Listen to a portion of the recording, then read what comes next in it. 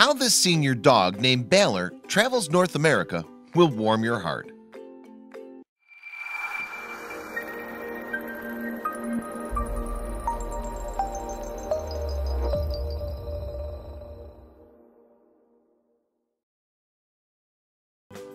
This is a story of a woman called Mallory Danger Paige and her 10-year-old Labrador Retriever called Baylor.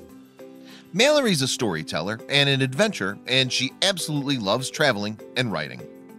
Mallory writes everywhere and anywhere all across the North American continent and her stories are both words and images.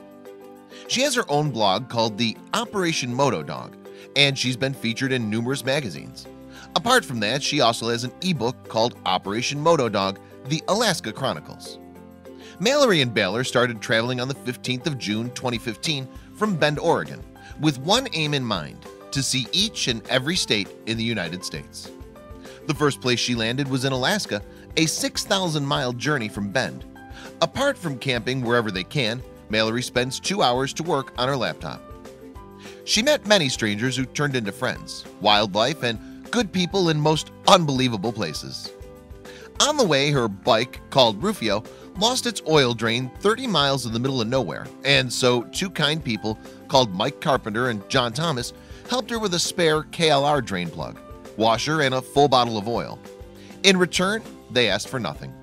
According to Mallory, you don't have to be fearless to live the life of your dreams.